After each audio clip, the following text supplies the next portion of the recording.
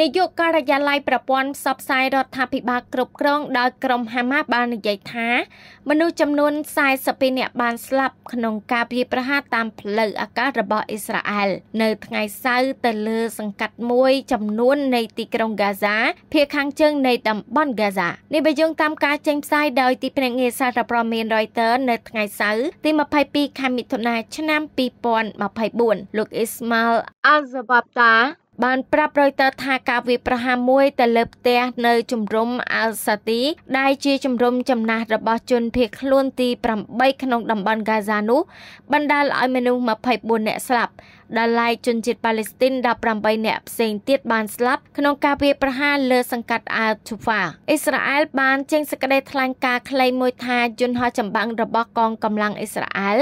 បានវាយប្រហារលើទីតាំងយោធារបស់ក្រុមហាម៉ាស់ចំនួន2កន្លែងនៅក្នុងតំបន់នៃទីក្រុងហ្គាហ្សា